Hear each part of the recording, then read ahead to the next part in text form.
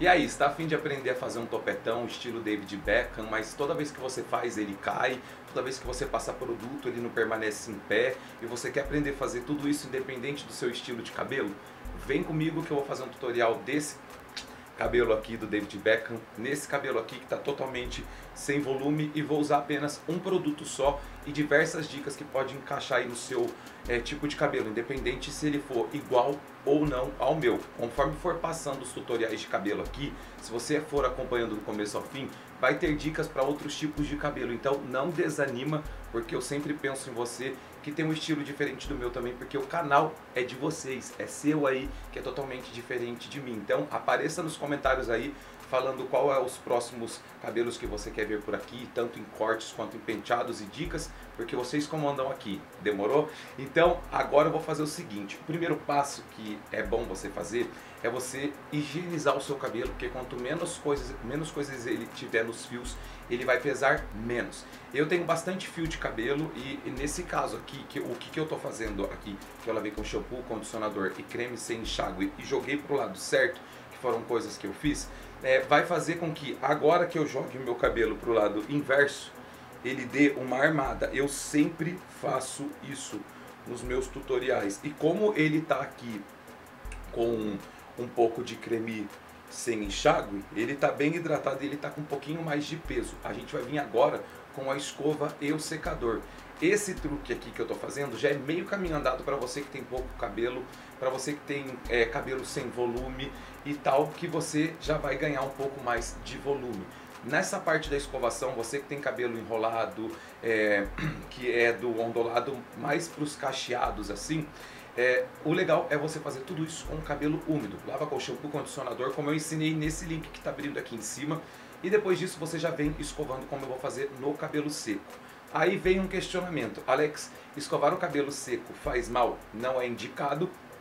Mas aqui no caso a gente vai fazer com o vento um pouco baixo, com a temperatura baixa também, com bastante vento e temperatura baixa, para a gente conseguir alinhar esses fios e jogar eles para trás. Por enquanto eu não vou passar nada. Então, recapitulando aqui, lavou com shampoo, condicionador, passou creme sem enxágue, já criou uma película aí que a gente vai escovar o cabelo e vai conseguir dar um brilho sem usar muitos produtos e vai conseguir dar um pouquinho de forma também.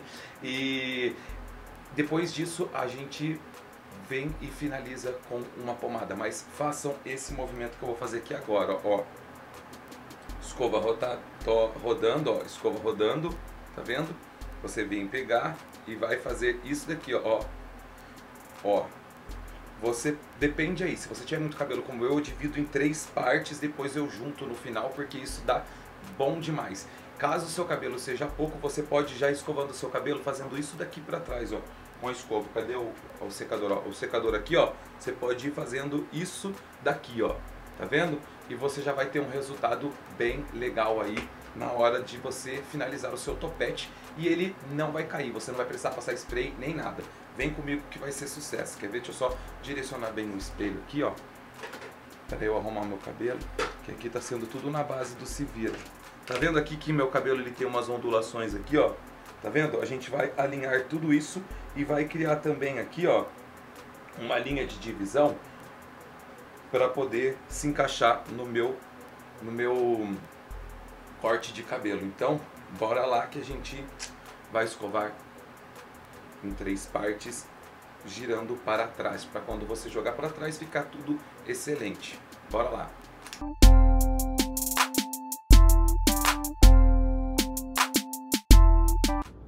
Cara, eu tava aqui editando vídeo e esqueci de falar pra você dar uma curtida e se inscrever no canal, porque isso é muito importante. E ó, só um spoilerzinho do cabelo, ó.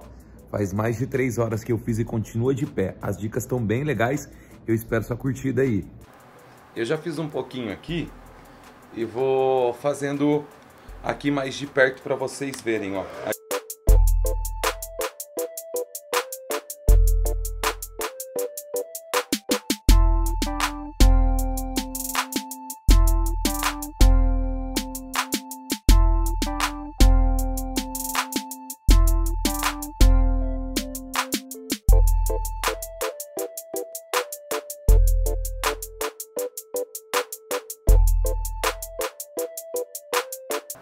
Tá vendo aí, ó, que a gente fez todo aquele esquema? Deixa eu só tentar focar, que eu acho que tá desfocado. Pera aí. Aí, ó, você consegue ver que já ficou umas ondulações aqui, ó. E elas estão sem volume total, ó, tá vendo? Calma que a gente vai continuar seguindo isso até aqui a parte de trás pra gente perder essas ondulações e respeitando essa divisão aqui, que depois quando a gente fizer o truque final vai dar super certo. Vem comigo que a gente vai continuar nesse mesmo esquema. Ah, e eu fiquei mais perto do microfone, desculpa se estiver muito alto.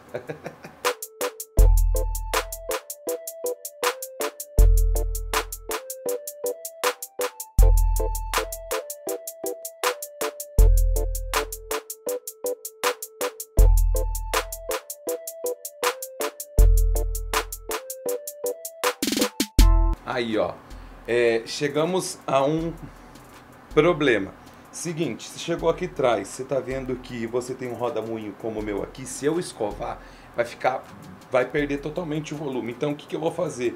Com as próprias mãos mesmo, para não perder esse volume, eu vou jogando o meu cabelo aqui para o lado e um pouco para trás, porque eu vou ganhar um pouquinho de volume.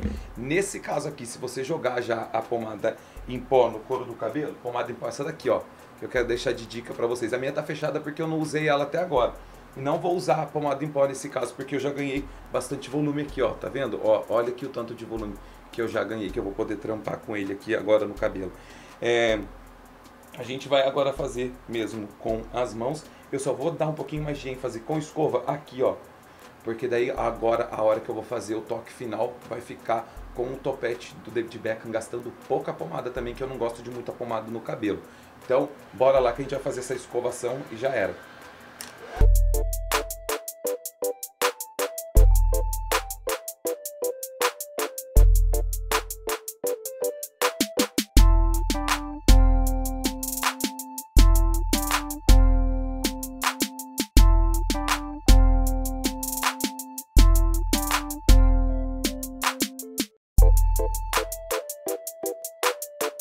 Aí, ó.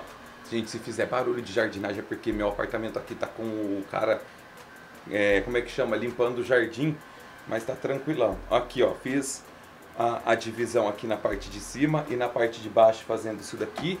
Agora a gente vem só dando mais uma erguida, só que pela ponta aqui, ó, no nosso cabelo, porque isso daqui vai fazer com que ele fique assim, ó. Então, a gente vai escovar aqui agora, pegar a ponta e dando volume fazendo isso daqui.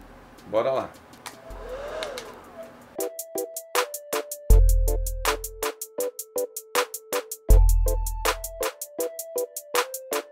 Tá sem aqui, tá vendo? Sem ar. Agora a gente vai colocar o ar.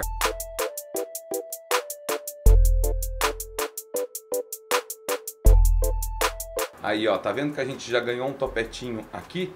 Agora, deixa eu só me afastar de novo para eu poder fazer a finalização. Ah, não, deixa eu fazer essa finalização aqui de perto também. Quer ver? Agora, o segredo é você vir com uma pomada. Gente, eu não sei se eu tô focado. Se eu te... Deixa eu ver se eu tô focado. Acho que eu tô desfocado. Rapidinho. Deixa eu só voltar aqui. Pera aí. Eu tô fazendo tudo sozinho. Pera aí, gente. Tá vendo aqui, ó, que parece que a gente perdeu toda a escovação e tal. Todas as vezes que eu apareci com, aqui com o cabelo úmido, eu sempre passei a pomada antes de secar os fios. E agora eu vou passar a pomada depois. Então a gente vem com uma pomada de efeito mate. Essa daqui é Opaque da Australian, Australian, que eu recebo bastante pomada da galera. Aí ó, ó, e com essas pomadas mais secas, você consegue ganhar um pouco mais de volume. E o seguinte, eu passei já a mão duas vezes no topete para poder é, dar uma sustentada nele. Então eu não vou passar mais a mão no, no topete, porque senão vai ficar oleoso. Então na extensão dos fios aonde eu passei, como é opaco, você pode passar um pouquinho e quando você sentir que a pomada está ficando dura nas mãos, esquenta. Aí ó, Aí ressalta aqui a divisória. Aí eu gosto já de uma pegada assim. Mas eu vou fazer agora, ó, tá vendo? Como tá aqui, ó, o meu topete deu uma caída. Se você viu que seu topete deu uma caída, você não perdeu trampo nenhum.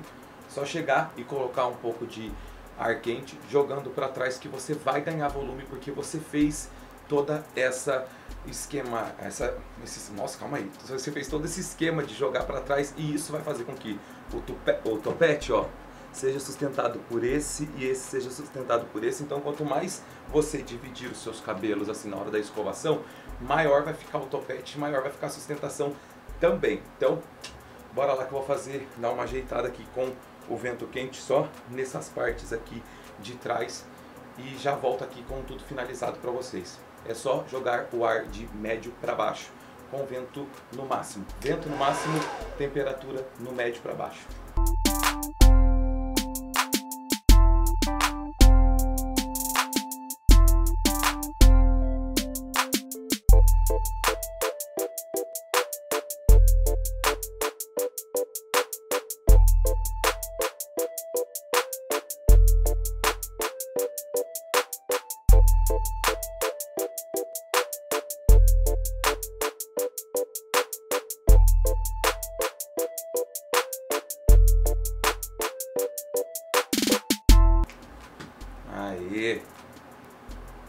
Tá vendo?